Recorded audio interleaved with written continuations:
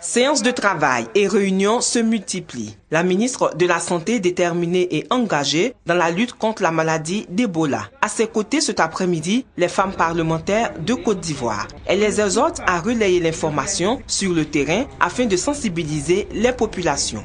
L'hygiène est surtout déjà la première étape. La notion d'hygiène est extrêmement importante.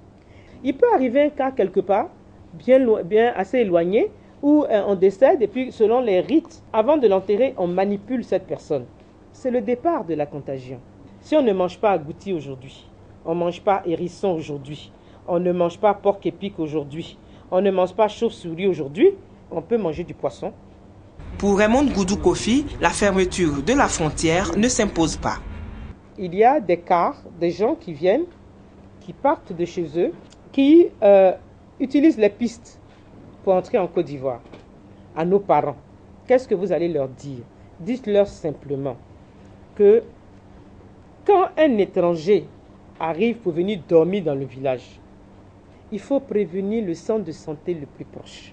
Selon le point épidémiologique du 8 avril 2014, sur 151 cas, il y a 98 décès en Guinée. Sur 21 cas, il y a eu 6 décès au Libéria. Et au Mali, 9 cas suspects ont été déclarés. En Côte d'Ivoire, aucun cas découvert jusqu'à ce jour. Ebola est le nom d'un village en Ouganda où le virus a été découvert. L'épidémie s'est déclarée en février 2014 en Guinée.